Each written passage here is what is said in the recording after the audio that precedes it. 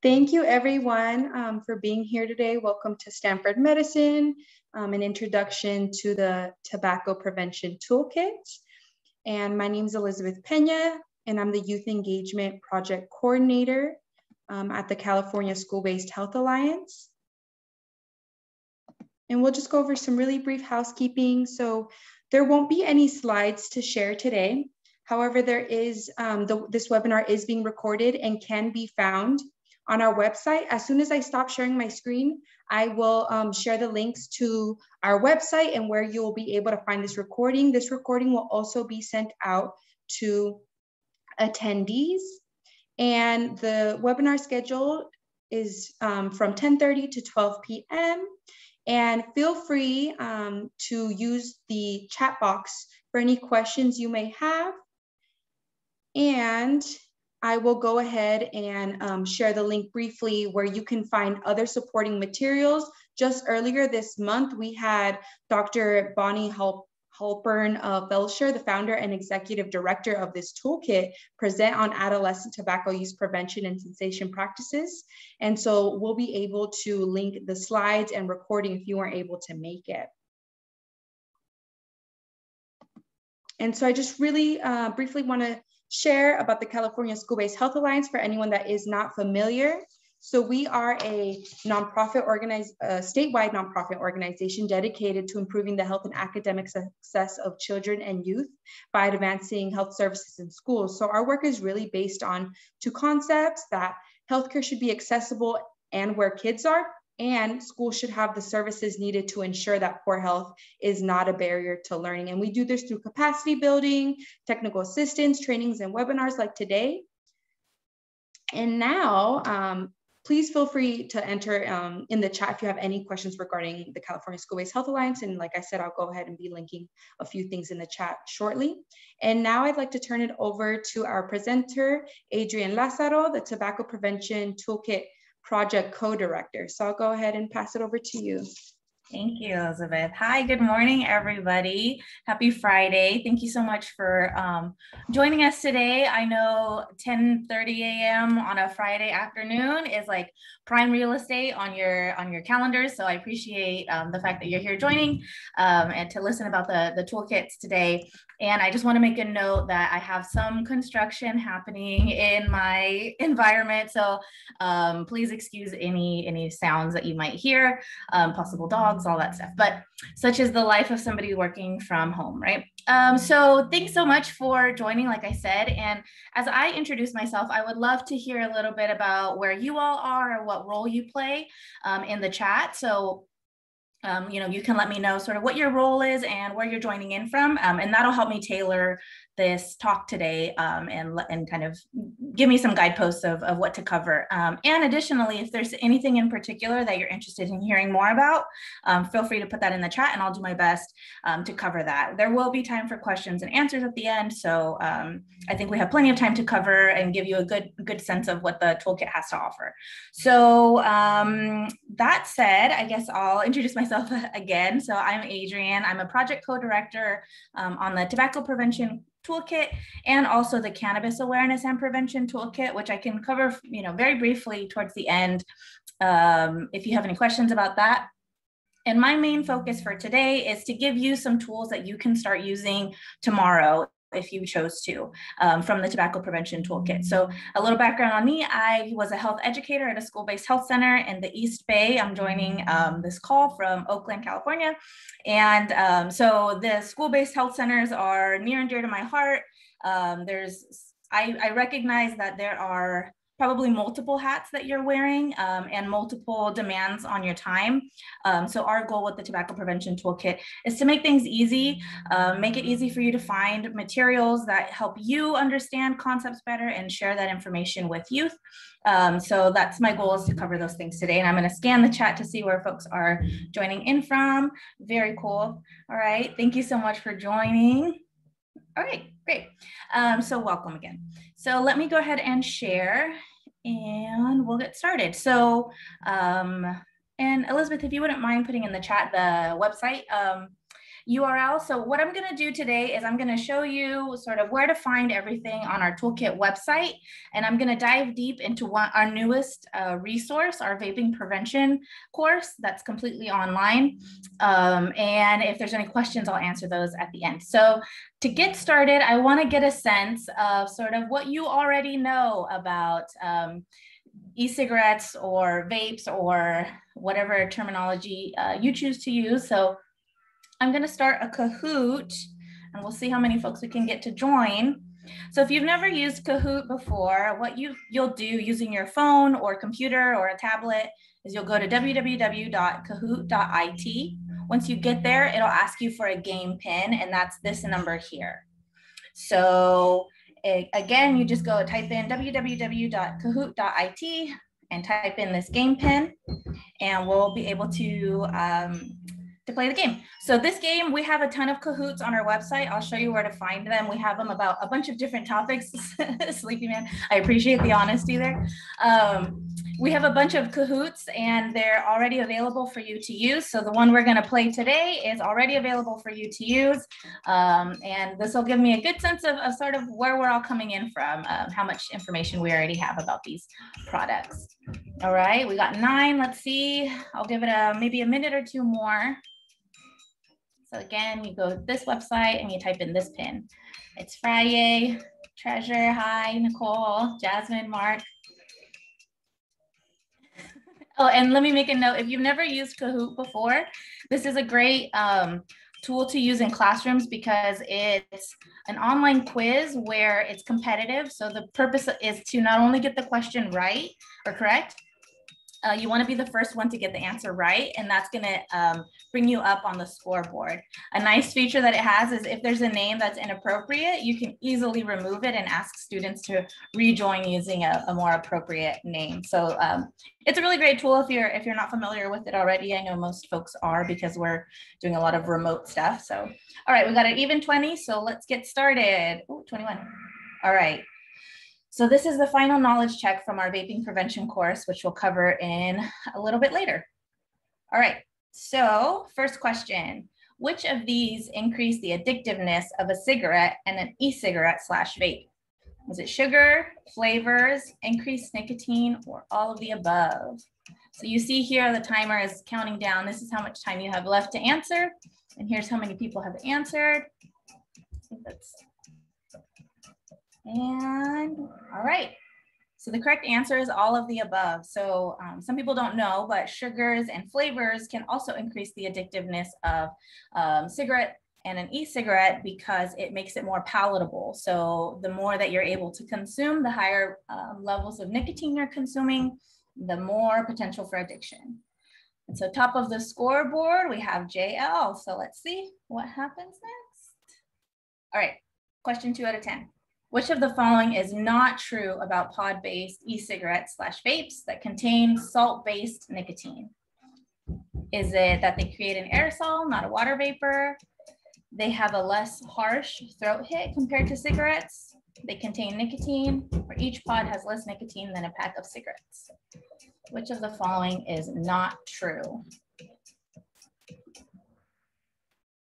All right, most folks got it right, but there's a little bit of a spread here. So that's right. Um, each pod has more nicotine than a pack of cigarettes, and we cover that in a lot of our um, materials. Um, and the rest are true. So they do create an aerosol um, and not a water vapor. So the term vape is actually misleading. That's why a lot of people in education or research uh, prefer the term e-cigarette because it's a more accurate term uh, to refer to these devices versus vape. Um, but we recognize that there are not very many youth who refer to these things as e-cigarettes. So it is important to use the lingo that um, youth are using.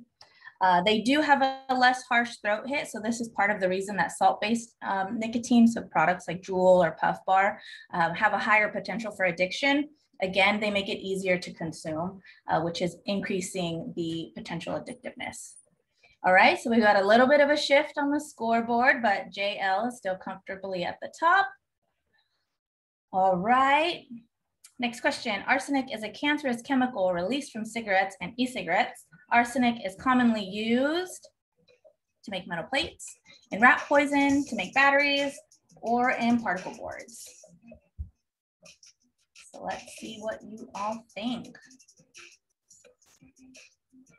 Arsenic is commonly used in correct rat poison. All right, uh, let's go to, let's see if we can speed things up a little bit now. Ooh, Kim's on a, a little bit of a hot streak. JL still comfortably at the top. All right, exposure to secondhand aerosol, which is the aerosol released from e-cigarettes can cause respiratory infection, make someone's asthma worse, lead to cancer, or all of the above. I'm pretty impressed. It looks like we're for the most part, all on the same page with these questions. Very nice, very nice. All of the above, correct. All right. All right, not much shift there. All right, question five. Using cigarettes blank the chances of developing blank disease. Is it decreases heart, increases heart, increases lung and heart, or decreases lung and heart? This one's a little bit challenging because you have to do the mental matching of what goes where. Let's see what we have. All right, most folks got it right. Yep, it increases the chance of developing lung and heart disease. Um, so even a few years ago when I first started in this work, um, these kinds of statements were difficult to make because there wasn't a lot of research as to what the long-term or even short-term effects of using e-cigarettes um, might be. So it's uh, and on one hand, it's it's great that we have enough research now to be able to make these kind of statements. On the other hand, it's unfortunate that um, you know this is still an ongoing problem, particularly for young people. But it sounds like you folks are pretty much in the know. Oh, we got a shift. Mark is at the top. I am so sorry, JL. really quickly, Adrienne, I wanted to ask for folks that um, were just joining. Do you happen to have the pin? Um, oh, shoot. Oh, right here. Uh, yes, it is. Let me see if I can. I'll type it in the chat. Okay, I think I can do. There we go. Thank you. Uh-huh. All right. Moving forward, so we're at question six out of 10. How is smoking slash vaping related to coronavirus slash COVID-19? Again, this is something that is fresh off of the research presses. Um, this type of information, obviously, um, to, relevant to the, the times now, but let's see, how are they related? oh, wow, I'm impressed. yeah, most folks got it right. So can make uh, a coronavirus infection worse. So there's a lot of different talking points that people have related to smoking and COVID or uh, vaping. And some people think might incorrectly assume that it leads to an infection. That's not correct unless you're sharing devices with somebody who's infected. Um, it does not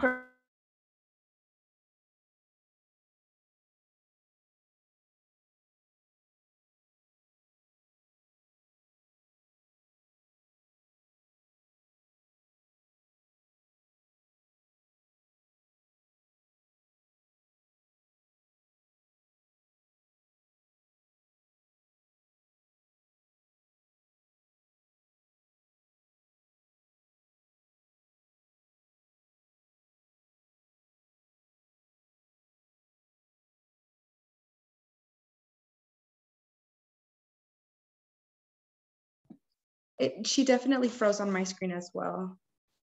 So let's just give her a minute to reconnect.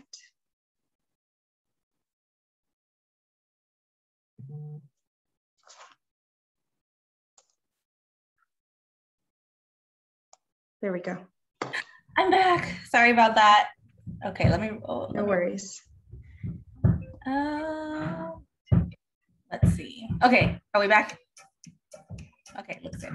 All right. So sorry if we missed a question. I don't think so, but um, why do cigarette and e-cigarette companies add nicotine to their products?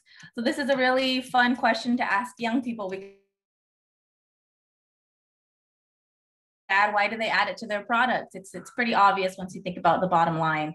Um, an addictive customer or an addicted customer guarantees more income, and so this is this in particular is a talking point that young people really respond to. Um, you know, as a young person, they value or like an adolescent, there's a lot of value in autonomy, um, in their own decision making, and um, you know, kind of working their way to adulthood, and so manipulation is something that they typically want to avoid. So that's a good talking point to bring up.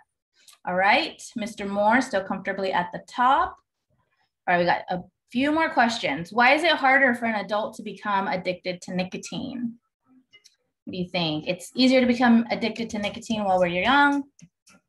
Brain development for adults isn't exciting and they respond less to drugs.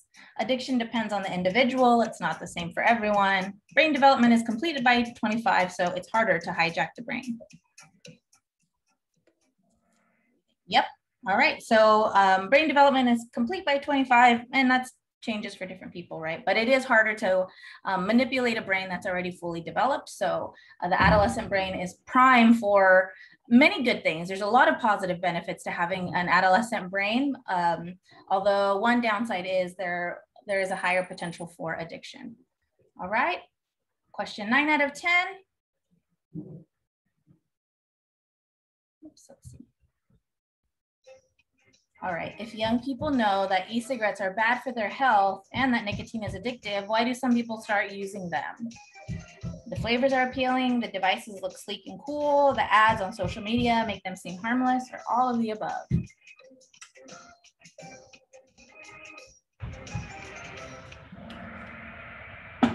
Very nice. Yep, it looks like, well, technically everybody got it right, but there's only one correct answer. So let's see.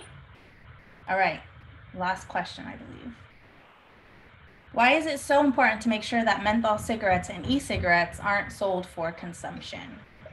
So menthol in particular, is it because companies have targeted the black community for decades with menthol? Too many deaths due to black people becoming hooked on menthol cigarettes. This is a social justice issue or all of the above.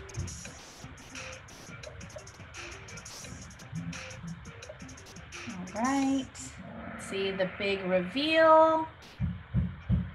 All right, let's see top three. Number three, getting eight out of 10, Misha. Congratulations.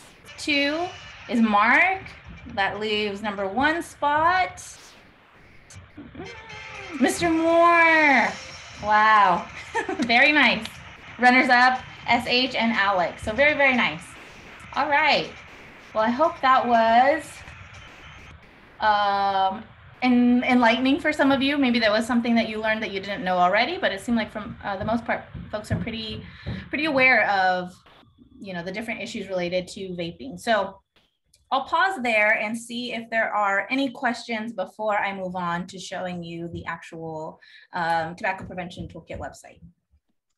I haven't got any yet, um, but feel free throughout the entire webinar to just type any question. We'll go ahead and answer them throughout the presentation. Yep. Yep. So don't hesitate to, to put in a question. I'll check in frequently to see if there's any questions because I want to make sure that this is a useful you know use of your time. So i only want to cover what's most important to you. So um, so what you're looking at here is the tobacco prevention toolkit landing page. So this um, this is where you're going to find everything that's on the toolkit. So before when we used to do in-person trainings people would come to the training and ask oh when am i going to get my toolkit? Uh, thinking it was going to be a physical you know object with different materials inside. But the toolkit is actually our website. And so all of our resources can be found for free online they're constantly being updated by our team um, based on the latest research, best, best practices for um, education. So the toolkit isn't actually a box, it's a website. And so you'll find all of the materials um, here. So um, because I'm assuming that most folks don't have a ton of familiarity with the tobacco prevention toolkit, I'll go in detail. And if there's something you wanna know more about, again, just put it in the chat and I'll make sure to focus on that. Um, so like we say here, this is uh, the toolkit is a labor of love. It's something that we've been working on for over five years. It's cre- resources created by um, educators, by parents, by researchers, and most importantly, by youth. So we have an active youth um, advisory board that helps us create these materials. They tell us when something isn't going to work, when young people aren't going to like it. So um, we're vetted through and through. So um, and I'm thinking about the roles that you all might play in different school-based um, settings. And there's a, a, lot of opportunities to use these materials um, and make it your own and make it fit your needs. So if you have questions about that, again, um, let me know and I'm happy to, to do some technical assistance um, if that's useful. So let me get you oriented to the website. So when you come to the Tobacco Prevention Toolkit website, um, here across the top, you'll see our menu bar. Um, and you can hover over and kind of jump to any particular place if you know where you're going. And after you click somewhere else on the website, you can always come back to this landing page by clicking here, the Tobacco Prevention Toolkit um, title. If you click here where it says Stanford Medicine, that'll take you to the Stanford Medicine um, landing page. Uh, so just be careful because that'll send you somewhere else and then you have to backtrack your way. Um, but with, within our website, if you just click here, you'll be able to come back to this page. Um, on our landing page, we use it um, mostly as sort of, you can think of it as a newsletter. We're going to always highlight the newest resources that we have um, or materials or latest uh, research. So if you scroll down on the, on the landing page, you'll see what we're highlighting. So for example, right now, we're highlighting our Healthy Futures curriculum, um, our Going Smoke Free and Vape Free page, and our Vaping Prevention online course. This is what I'm going to talk the most about today, um, and I'll cover the other materials uh, more briefly. This gives you some background, background and um, highlights a, few different activities that you might want to try out um, and other, other features, for example, some of our translated materials. So um, going back up to the top of our website, Again, the menu bar helps you navigate. So the about page is exactly what it sounds like, an about page. it has information about how to contact us, our team, some frequently asked questions. I'll leave that to you to review on your own time if you are interested. Uh, what I particularly want to highlight are these two tabs. So we have our Take and Teach tab, and we have our Curriculum Decision Maker. So our Take and Teach tab is um, designed to give you all of the bits and pieces, all of the different ingredients that we have within our toolkit. So our toolkit is comprised of different activities, uh, different overview PowerPoints, we have different Kahoot quizzes, uh, which we just demonstrated. We have fact sheets and we have discussion guides. So again, you can think of these as the individual ingredients of our toolkit. If you wanna get one big overview of what all those materials look like, we have our curriculum at a glance page. Um, and I'll show you that in a second. So that's the take and teach. Think of it as your ingredients. The curriculum decision maker is our tab where if you don't have the time or the familiarity um, or the resources to kind of put together a recipe using our ingredients, you could just come here and these are already developed recipes. So their curriculum, meaning we put together different parts of the toolkit in a particular order so that you're able to just follow along, take the lesson plans and facilitate the, the different curriculums depending on your, your needs. So the way that we have the different curriculum items organized are by tobacco topic, so here you can see if you want to know everything we have about e-cigarettes and pod-based um, vapes, or hookah, for example, or nicotine addiction, smokeless tobacco, um, or general tobacco. You can look at it there by topic. If, for example, you know you only have one day to talk about um, you know, tobacco prevention, or if you have five days or eight days or 10 days, you could go here and find it by our number of class sessions, if you're interested in finding out what our uh, translated materials are, you can see here by language or by school subject. Um, and then for students caught using, so this is our alternative to suspension um, curriculums, and I can show you that in a little bit more detail in a second. And then our remote teaching. Okay, so again, those take and teach is your ingredients and your curriculum decision maker is recipes. Um, and then our last tab is our resource directory. And here's where we link to a bunch of uh, relevant information. If you wanna know more that isn't covered on our toolkit, uh, we can direct you here. We also have um, some, some materials that might be helpful for you. So our crash courses get are designed for educators to use um, to kind of brush up on information about addiction or the brain or e-cigarettes or any of these topics. Um, so I'll pause there and see if there's any questions. Um, is anyone currently implementing an alternative to suspension for youth that are caught using? Oh, you're asking the attendees. Yeah, I'm really curious because I, I mean, I want to learn more about that section too. It's a, it's a area that we're really interested in learning about and, and what's been helpful and what hasn't. Yeah, we would love to hear that too from um, anything that folks are using. And um, what I will say is we're in the process of developing uh, an online course for our um, alternative to suspension curriculum. Um, and currently we have uh, we have different uh, broken, we have it broken down by time, but soon we'll be adding another one. We're in the process of um, adding that now. We do have a quick question. Is there mm -hmm. closed captioning available for deaf and, and hard of hearing? Is that for today's training or? Um... I think I think um, they're referring to the toolkit, but correct me if I'm wrong. Um... yeah, let us know, Estela, if you're um, wanting for today's uh, training or or general sessions. Yeah. Um, so, uh, so with our toolkit materials, they're designed to be uh, facilitated by an educator. So it wouldn't be something necessarily that's um, where you would be watching a, a, lot of recordings. There are some videos on our toolkit and most are on YouTube, which does allow for closed captioning, um, but the rest would be facilitated in person. Um, either that or like our online course is done uh, individually and everything is uh, written out. Um, let's see. And Marissa was saying we, that they use brief intervention. Great. And a brief intervention, one of the people who um, developed that is also on our team. So there's a lot of overlap there. We have listed healthy futures as an option. Okay, cool. Um, all right.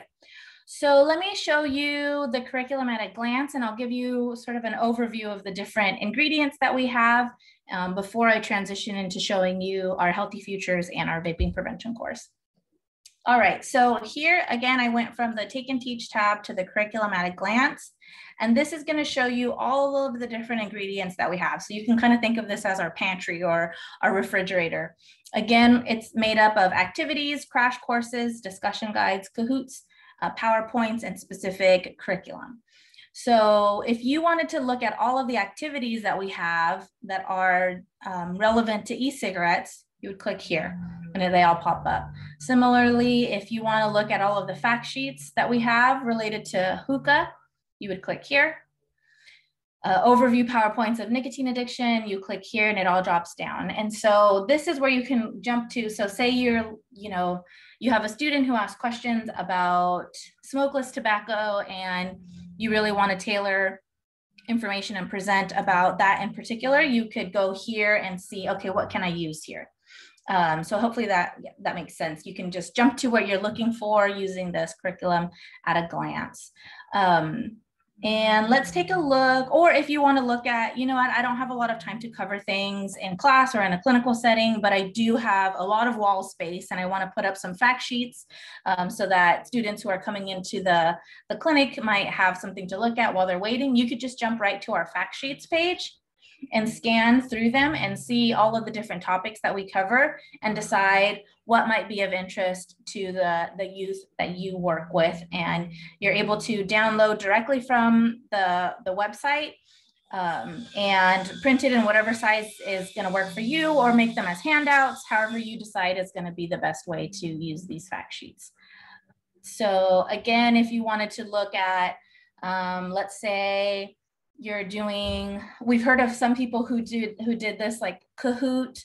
at lunch every friday. So people would and this was before when people were um, obviously in person but they would have uh, in the cafeteria they would in the on the large projector they would play a, a kahoot! a different one every week. Um, and that was something that they did to kind of just create more of a culture of, of health and wellness in their school. Uh, so they would just go directly to our kahoots page and you can see there's some in instructions for how to use it if you're not familiar. Um, but they would just pick one by topic. So this week, maybe they would talk about hookah. And so they would launch um, the, the Kahoot from here. And once you, I'll click on it and I'll show you, it just takes you directly to a Kahoot page. And then you could just play it, launch it there. Um, so they're all really accessible and easy to find. So again, that's the take and teach tab. You could just jump through. Discussion guides are um, are there they're materials that are designed to be taken home and uh, allow the young person to open up channels of communication with a trusted adult in their life. Um, and again, some in some cases that might be a parent, and in some cases that might be a coach or maybe the health educator at their um, school-based health center, or it could be their English teacher, whoever it is. We have discussion guides based on different tobacco topics here and they're open-ended questions. They're not right or wrong answers. It's not something where it takes a lot of research to answer. Um, these are designed again to open up channels of communication. So we know that a lot of times we have a strong focus on students who get caught using who get caught vaping uh, and then you know as as trusted adults in their life we kind of strategize of like okay how can we help them out of this difficult situation? And sometimes we don't do a lot of the prevention work on the front end to allow that young person to identify people in their immediate um, environment that they might be able to go to and talk when they're having a, a difficult time or if they're um, feeling challenged by maybe their tobacco use or they're curious about it. Um, they don't really have a lot of opportunity to talk to people about that. And so that's what these discussion guides are intended to do.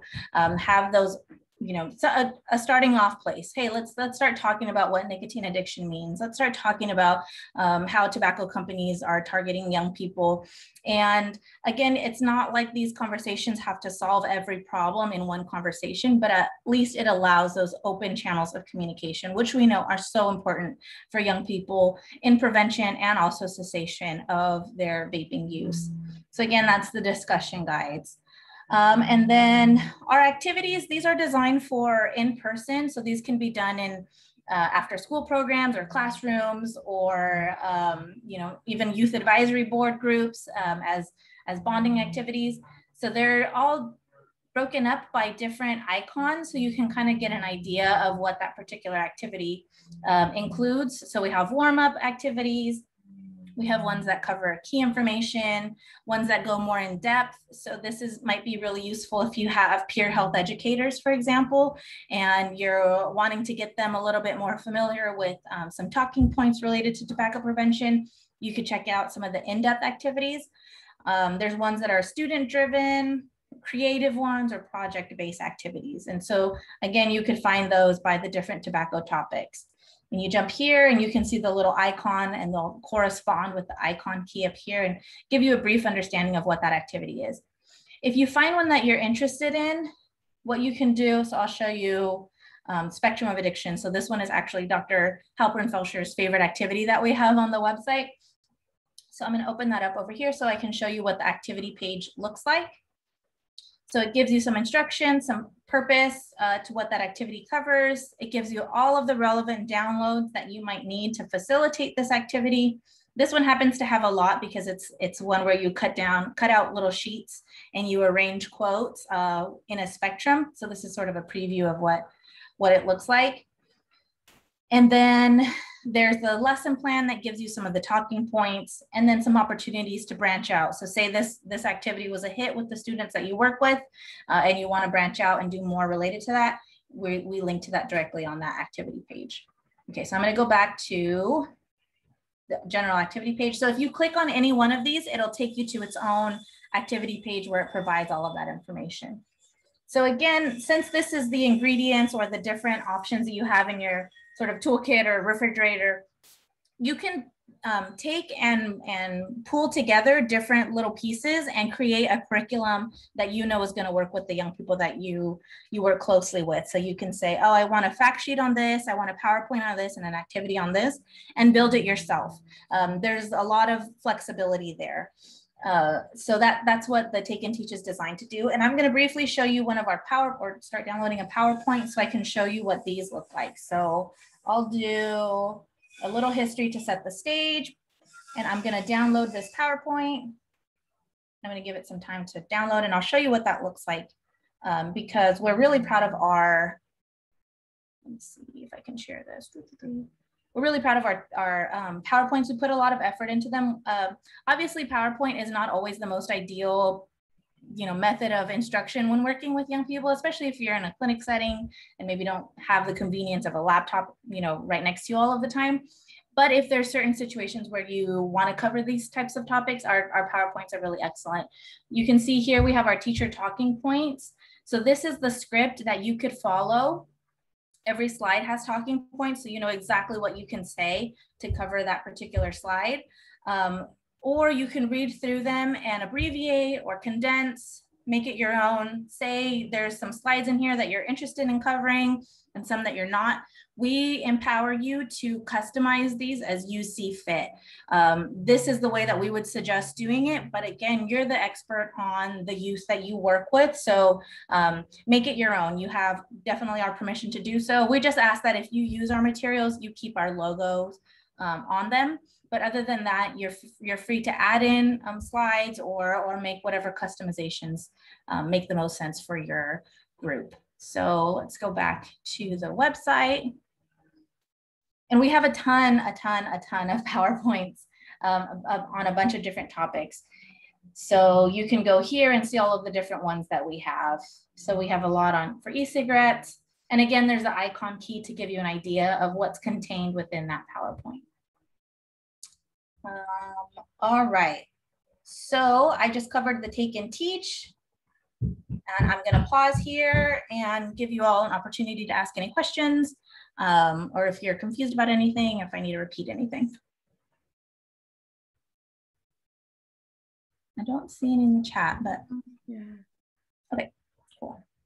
So then let's move on so I can show you the other cool stuff. So now you're somewhat familiar with the ingredients we have in the toolkit. So let me show you the different ways that we've combined them um, to create these curriculums. So uh, when we first started out with the toolkit, folks were really interested in having the materials divided into different units. And so that's what we did here.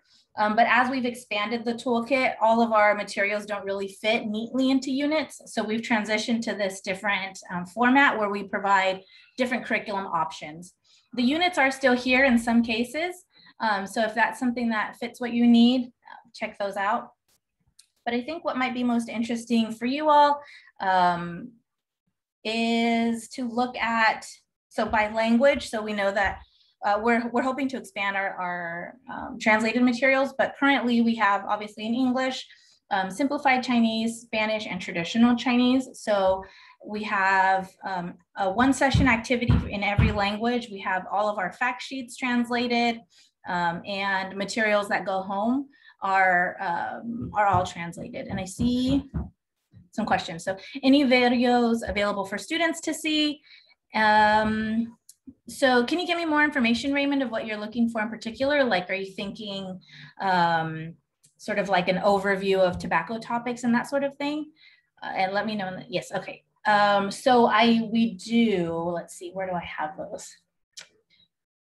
I'll show you on the vaping prevention course. So I'll show you that in a second. So good question. And then Tanisha says, I have a question. How does tobacco hurt you in many ways? Can you be more specific um, and what your what information you're looking for, Tanisha? And while while you're giving me specifics, I'll point you to a PowerPoint that can help you um, get give you a lot more information. So if we go here and we have health effects of e-cigarettes and vape pens, this goes um, kind of it gives you an overview of the different health effects that, that are caused by tobacco. And I think we might have,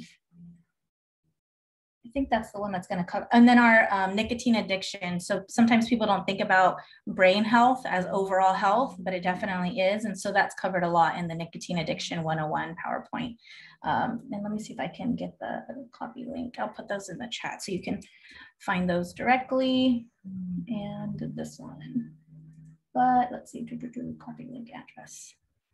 Okay, and so I guess to briefly answer your question, um, Tanisha, there's there's a ton of research about cigarettes and the health effects caused by cigarettes, right? So we have over 50 years of, of uh, short-term and long-term research to show that there's negative consequences, um, especially for the respiratory system, in the cardiovascular system um, because the damage caused by the lungs and to the lungs and to the heart uh, have sort of trickle down effects for the entire body. So basically any sort of um, negative health outcome you can think of can be caused by tobacco use. Um, there's interesting conversations happening right now related to e-cigarettes and vape pens. Um, like I was saying earlier, there isn't a lot of long-term data because these products are so new. There's no way for us to have a full picture of what the long-term consequences of vaping might be. Again, they just haven't been around that long, but that doesn't mean there are not long-term um, health consequences. What research is showing currently um, on on data that's you know five to ten year studies, um, there's significant impact to the heart and the lungs, um, and in some cases it it's hard to say definitively, but in some cases it looks like vaping can cause similar effects to traditional cigarette um, smoking. So again, damage to the lungs and heart because it stresses out the heart to um, to have to work that much harder when the lungs are being damaged with um, aerosols and uh, secondhand aerosols. So I know that's like a really brief and probably oversimplification of some of the health effects, but if you have specific questions, I'm happy to answer that too. I have another question, um, Adrienne. So for that example, um, are there any types of videos available that explain the health impacts of tobacco or how health um, or how nicotine affects our health? Or is um, it just so, uh, slides? So right now we have mostly slides. I will show you a video series that we have that we developed for remote instruction that does cover that, um, but not as in depth as a full video. So um, the with the toolkit, we are our sort of educational philosophy is that for young people, it's going to be more impactful for them to hear from a trusted adult in their life versus watching videos. Um, that said, there is um, there is opportunity to use either. And I think Raymond, something that you might be interested in is what I'll talk about in a second is our vaping prevention course, because this is more hands-on than a video, but it doesn't take an instructor to do the, the teaching. So I'll show you that in a second. Um, From your experience, Adrienne, what piece of the toolkit has been most impactful for the youth? So based on what we're hearing, are materials related to let me show you. Oops, our materials related to, to um, e-cigarettes and pod-based are most impactful, particularly here in unit six. I'll see if I can copy this um, and put it in there. So our Juul and pod-based is has been the most impactful because it's really responding to the current trends that we're seeing in young people. So um, the the number of young people or adolescents you know under the age of 25 who are smoking cigarettes is steadily going down over time. But with the rise of e-cigarettes more young people are consuming nicotine than they have in multiple decades. Um, so in order to properly respond to that rise in nicotine use by young people it's important to focus on the products that they're using which right now are typically products with pods, um, which are things like Juul, uh, which are things like Puff Bar, which are disposable, um, vaping devices. So any activity that you use that responds to the products that are most popular in your community is going to have a big impact. And then the other that I would say uh, would be activities that are hands-on um, because they they are more memorable for young people. So um, I would say, especially any that are project based, we have our photo voice project here is a really impactful activity. Um, this one allows young people to take pictures that of things in their community that um, where their where their personal life experience interacts with vaping. Um, and it, it, can be really impactful because it's it's part art project part journalism. And if you kind of time it out right you can do a, a gallery viewing and allow young people to talk about what their experiences how how tobacco use affects them even if they themselves are not a tobacco or nicotine user. So um, those are those are ones that i would especially highlight. And i'll highlight i'll get the I'll link our PowerPoint that covers Juul. And again, I apologize for the um, sound in the background. And I'm gonna add this here. So hopefully I'm not uh, linking you all to death, but, uh, and let me know if you have more specific um, questions, Jasmine and others, if, if any. Um, okay, so let's see where we're at with time. We're doing good. Okay, so let me show you um, briefly what we have, what materials we have for alternative to suspension, and then I'll show you our vaping prevention course. So again, to go to our um, alternative suspension, we have it under this category for students caught using.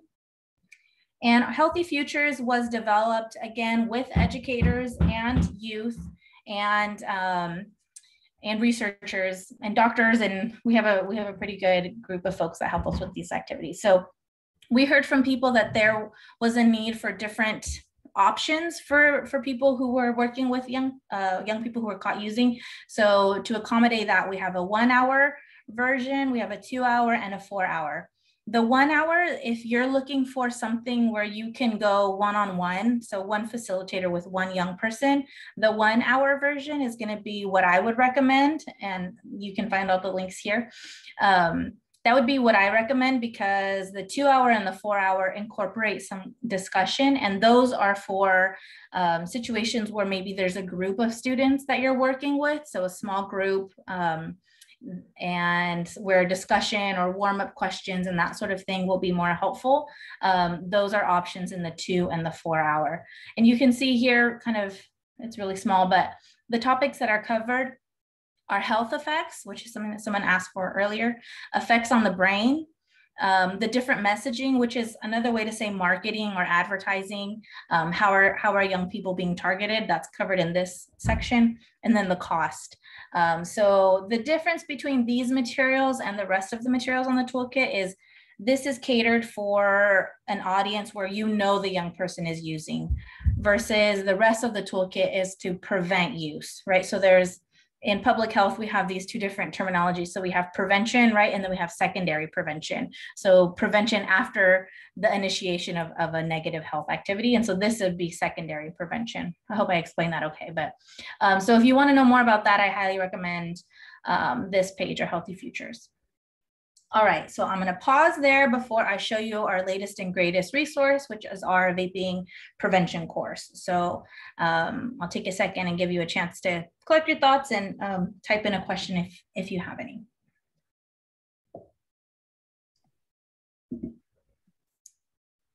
So far, no questions. All right, cool. So I'll move on. So the last thing I want to show you on this toolkit is our page for remote teaching. So who facilitates? Good question, Jasmine. So it could be, there's a lot of different options as to who can facilitate these sorts of lessons. So for the Healthy Futures in particular, I would say um, it should be somebody who is a trusted adult, maybe in a, in a school setting or even in a clinic setting, um, somebody who's reviewed the materials and understands the broad topics. Um, I haven't heard of any peer educators doing the Healthy Futures um, curriculum, although I think that is a possibility depending on how well trained peer educators are. The rest of the materials on the toolkit can be facilitated. I, I think our number one sort of audience is uh, classroom educators. And then our second is like health educators. So people who might go into classrooms um, and present this information or who might do after school programming could use these materials Another option is to have students um, review the materials and then do the uh, do the facilitation themselves. So we've had a, a, we've heard of a lot of success stories of people doing that where um, they use peer educators or have students teach each other concepts. So that's another option. Is there a pre- mm-hmm. yeah? Is there a pre and post test? Um, oh, no problem, Jasmine. Uh, so for for the healthy futures there is a pre and post test. And then in the vaping prevention course that I'm going to show you, there is a post pre and post test. But because all of the other materials are sort of um, you're able to customize them, it doesn't really make sense for us to always provide a pre and post test for the materials um, because what we suggest that you cover might not be actually what you cover. So it'd be hard to test that. I hope that makes sense. Um, but Tanisha, if you are interested in and using some quizzes or pre and post tests. Uh, what I didn't mention under the Kahoot quizzes is we have paper versions of all of these quizzes. So if you don't want to take the time to create a quiz, just go to our Kahoot page and look at the Word documents. Um, and it'll show you all of the questions that you can use. So you can use those as a pre and a post test for any particular um, subject. So there's ones on all of the different tobacco products um, and different topics. So that's where I would send you. Healthy Futures does have a pre and post test though, uh, in all, all three versions. Um, other questions? All right. Okay, So last, let me show you our latest and greatest. So to find our vaping prevention course page, um, what you'll do is you'll go to the curriculum decision maker and then at the bottom where it says for remote teaching, you click there. So that's a little bit misleading because you this is designed for remote teaching, but it's absolutely available to be used in-person instruction or to assign to a young person um, who might be interested in learning more about vaping prevention. And that's something that you could use. Say for example you're in a clinic setting and there's a long wait time. Um, i remember some of those days working at the health center where all of a sudden we had like a ton of um, uh, unexpected like students coming into the clinic and there was a, a, long wait time. And so this might be something that you could um, you know recommend that people do while they're waiting for for their visit or to do after a visit. So i would do health education and sometimes it would be helpful to kind of provide some additional resources for topics that I didn't have enough time to cover um, in the clinic visit. And so this could be something that you use in that setting. Um, you would just send them the link and say, oh, here's some, you know, we talked a little bit about your vaping use and you're interested in cutting back. If you want to learn more, check out this course. Um, this, that might be a way that you could use this.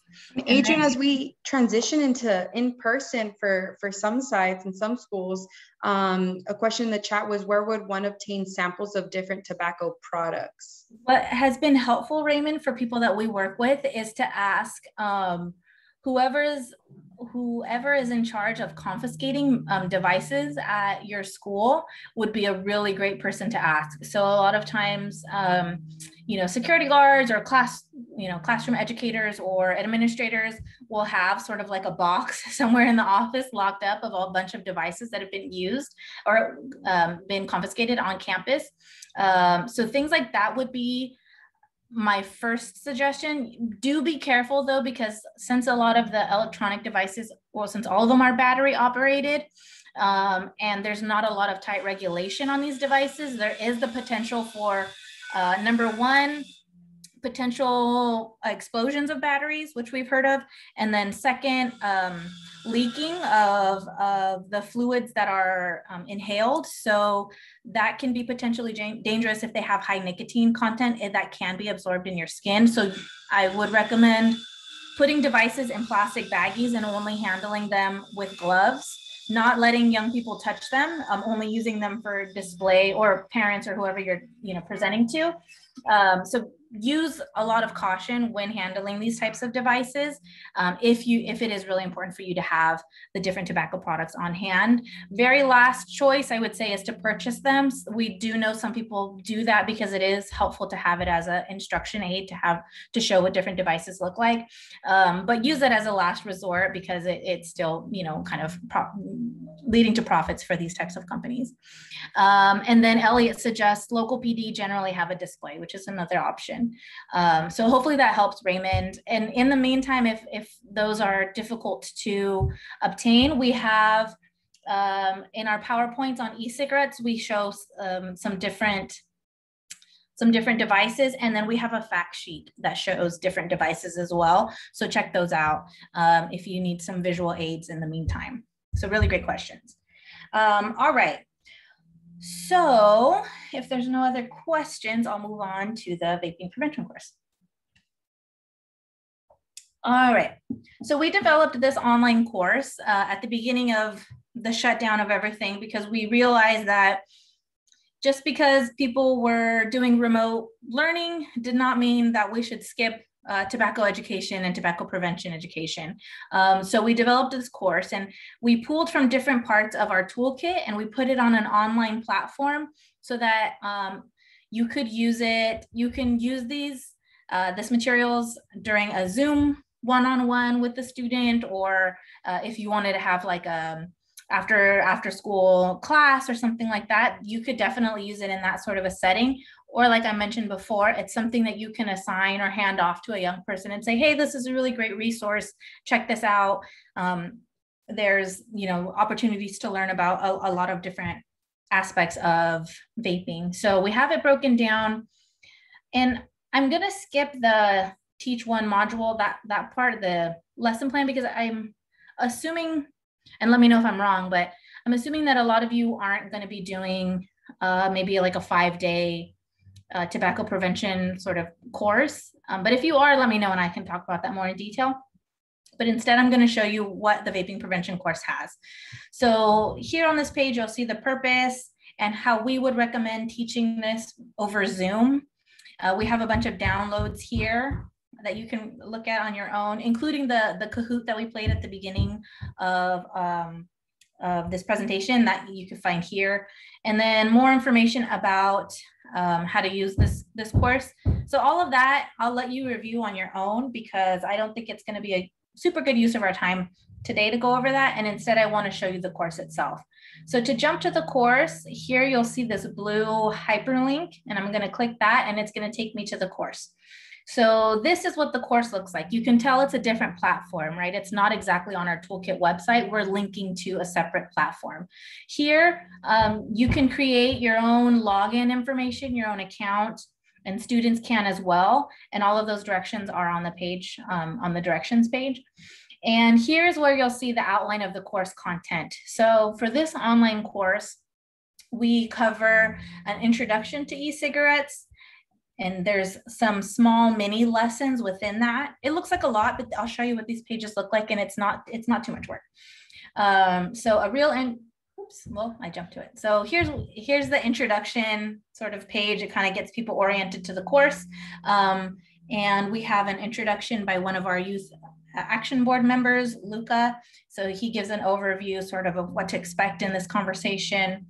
Um, and then we jump into some of the content. So um, there's, and I know someone had questions about closed captioning before. If you're assigning this to somebody, uh, we try to make, to adjust for some um, accessibility. We have directions written out, but then we also have them recorded here so people can listen to them as well. And so the, the course has a bunch of different little activities where you can type things in, you know, respond to the questions um, and keep going. There's some like drag and drop, click answer sort of thing. Um, and this is to increase um, the engagement for youth. And again, you could be you could be displaying this via Zoom if you're doing a one-on-one, -on -one, or in a classroom projected up onto the um, the board in the front.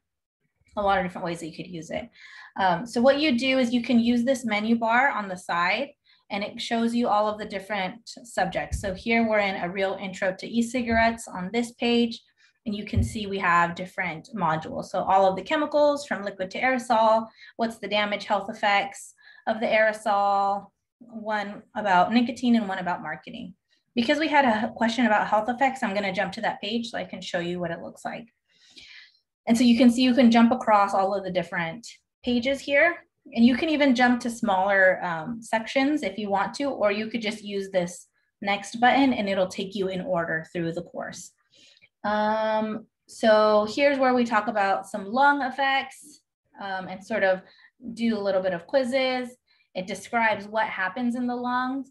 So essentially there's swelling of the airways, which makes it more difficult for air to pass through.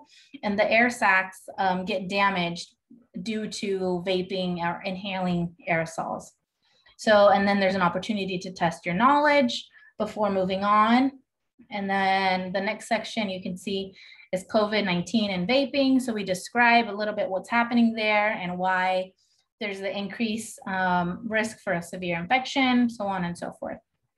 And then you can see here we have what happens to the heart um, and then a key takeaways, which just summarizes what was in that section. So this gives you just a, a brief sort of feel for what the course looks like. I do want to highlight the marketing section. So again, this is a topic that um, is really impactful for young people because they don't like the idea of being manipulated by tobacco companies. And so when you talk about those marketing tactics, um, that's something that typically resonates with young people. And this could be something that you even do on your own, do the course, see what some of the most important talking points are, and use that to structure the conversation that you have um, with young people. So here we talk about flavors, and then we talk about menthol, and sort of the history of menthol and why this is of particular concern. Um, we have we show sort of how the um, Black community has been targeted with menthol marketing by looking at ads from the um, 70s. And then it ends with this really great um, spoken word um, video that uh, I think was a prize winning um, spoken word. So it, it's a really impactful um, video. And then you'll see here, we also have references. So if you're kind of into learning about the science and all of that, there's plenty of opportunities to look for it. Um, and we also call, cover social media and so on and so forth. So that is, let's see if I missed anything that I wanted to focus on. Um, so I know I went through that really fast. And again, this is just the landing page that shows you all of the different, the different sections. Um, are there any questions that I missed? Um, okay, that was Elizabeth adding that there's a training for something for the um, expert. Great, cool. So any questions about the vaping prevention course?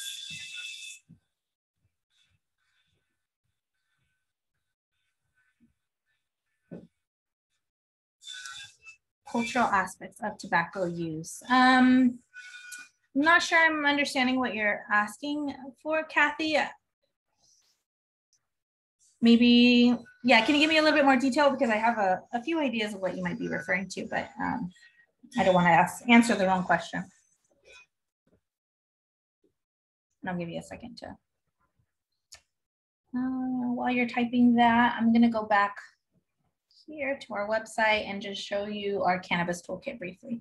Um, so Kathy, I'm not sure what you're referring to, but um, okay, yes, Great, that's what I was wondering about. So um, traditional tobacco versus commercial tobacco. Um, currently, we don't have materials about that distinction, although it is really important to recognize that um, everything we're talking about here is commercial tobacco use and does not is not the same thing as traditional tobacco use, which is uh, um, sometimes used by certain Native American communities um, in cultural ceremony.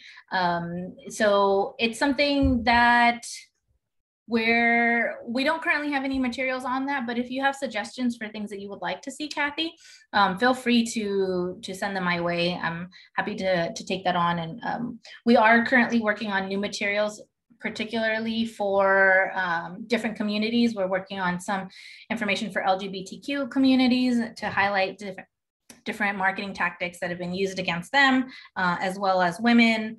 And uh, we're going to um, build out more of our racial equity piece on tobacco. So um, this is definitely something that I can bring back to the group and add that to our um, add that to our, our list of things that we want to talk more about.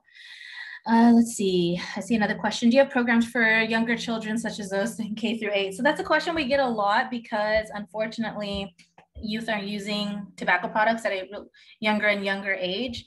Um, currently, we don't have anything that's specifically developed for K through sixth grades um, because that's not necessarily our area of expertise or the the consortium of people that we work with to develop these um, lessons. That's not their level of expertise, but it is something we're getting more questions about and something we're thinking about. That said, um, there's a lot of materials here that can be adjusted to fit different age groups. And if you have questions about how to do that in, in particular, reach out to me, uh, Raymond, and we can talk about that more offline. Um, and talk about toxins in commercial tobacco. Yep, that's a good point. Um, in commercial tobacco. Right. Okay. Um, all right. So with that, I want to take the last few minutes before question and answer to show you our cannabis awareness and prevention toolkit briefly. So I'm going to put this link in the chat. Oh, wait, let's see. Okay. So similar to our tobacco prevention toolkit, we have our cannabis awareness and prevention toolkit. Um, and this has materials focused on cannabis use.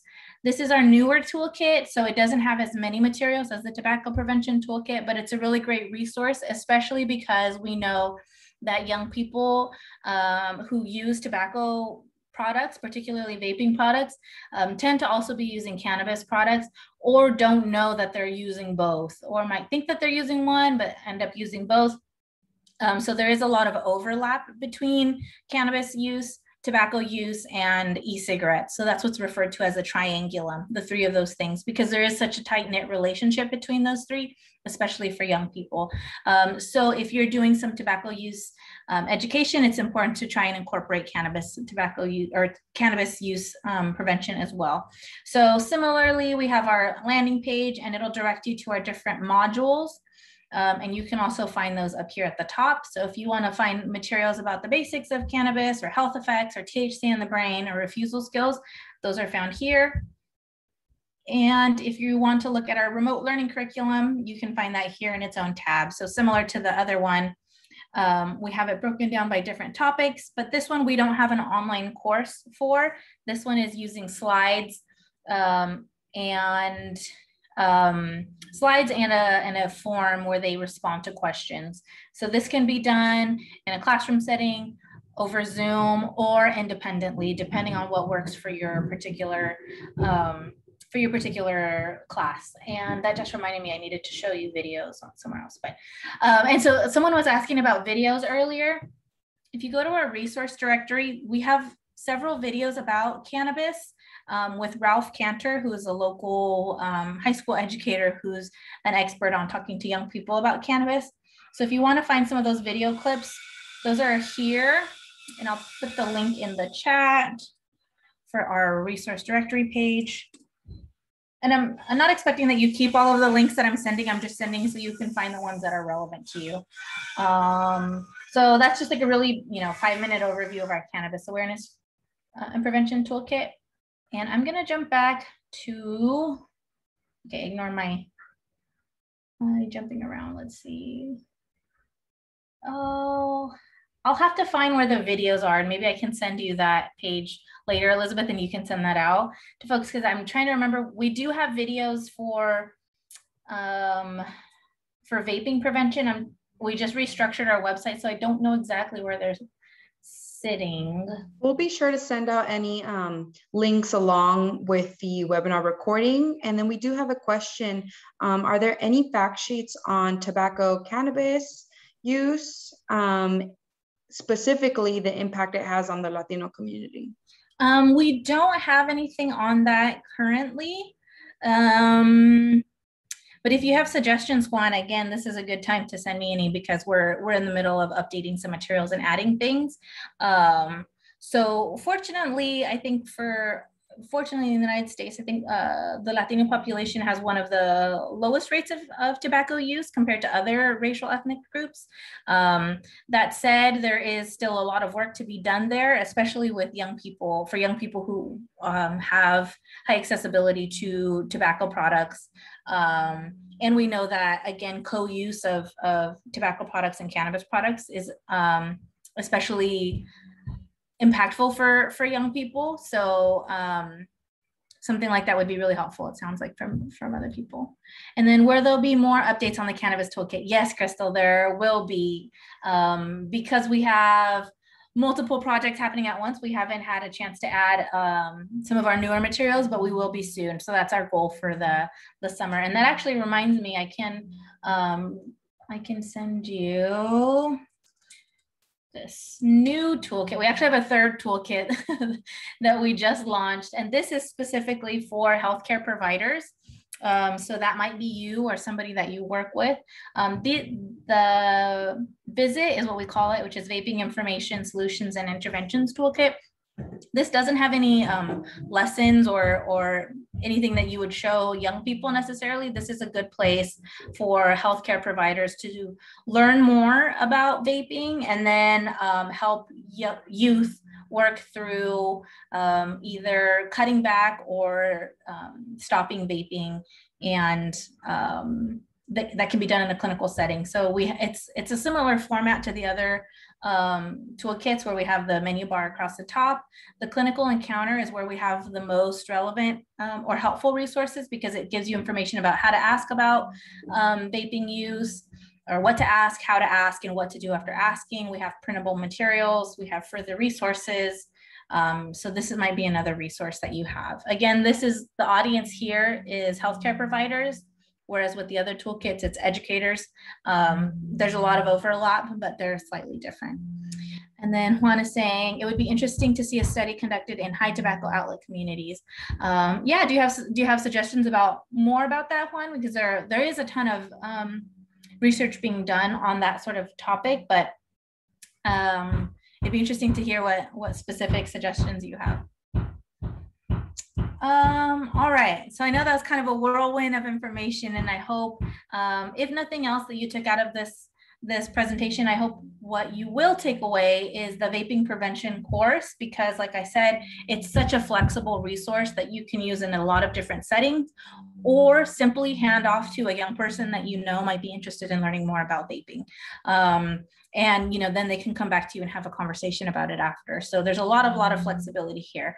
Um, so if nothing else this would be the number one resource that i highlight for you all because like i said it's so such a flexible resource um, all right, so I'll open it up to um, questions. And if people have more specific questions, this would be a good time to ask, like, you know, what what would I what would you suggest for somebody working with, um, you know, youth in in rural areas or or whatever your questions might be. So happy to answer those.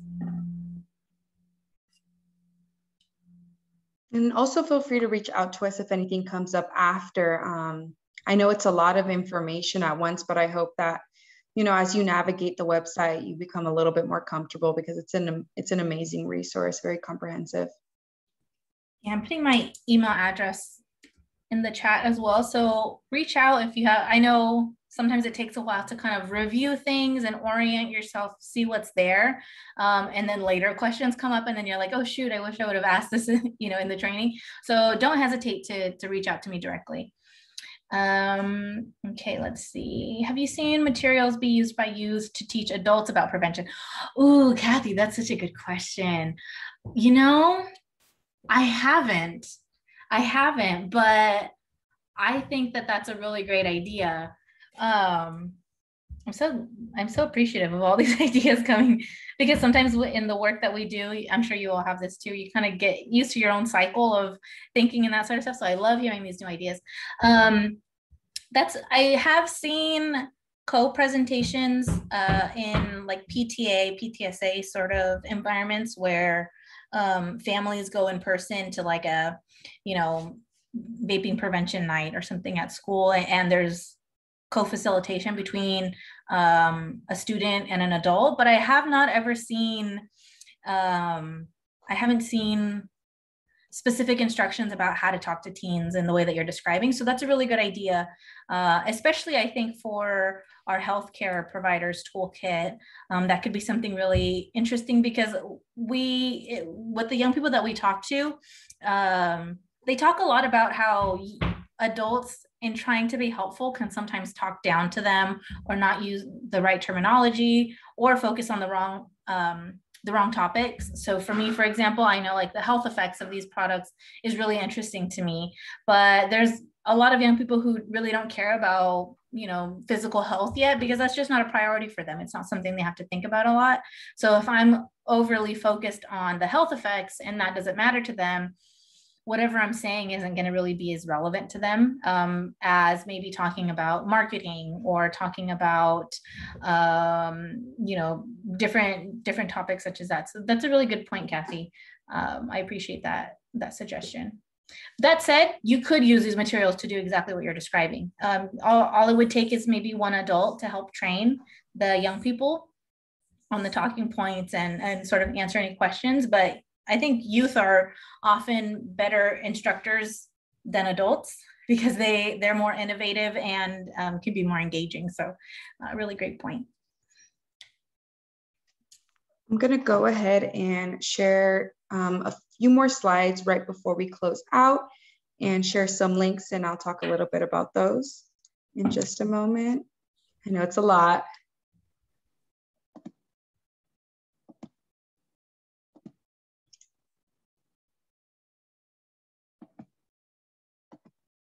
So please feel free to um, send any questions over if something comes up um, about any of the toolkits. And I did just wanna um, ask you all, you're all invited to save the date to the California School-Based Health Alliance's 2021 Virtual School-Wide Health um, School Health Conference. And so those dates are November 2nd to the 4th, and um, it's in partnership with uh, West. And I want to encourage you all in the last link that I just sent um, to explore our website to become a member. And there's tons of benefits. And so there's conference registration discounts, member only tools, resources, and technical assistance tailored, tailored to your organizational needs. And so I just invite everyone to take a look at that. And if you're able to come up, become a member, that would be awesome and join our network. And here is my email, and then here's all our social media platforms. And um, right before our time ends, I just want to let everyone know and ask if you could please fill out a, I think it has about five short evaluation questions so that we can learn how to best support our this field um, in your work with young people. And so if there aren't any, feel free to send any last minute questions. We do have plenty of time, but for anyone that's um, that has to go now. I just want to thank you all so much for joining us today. I know it's a Friday, um, and we invite you to our upcoming webinars that I linked in um, the chat. And thank you all so much. Um, but we'll hang on tight here for a few more minutes if anyone has any questions, and that um, evaluation will automatically pop up.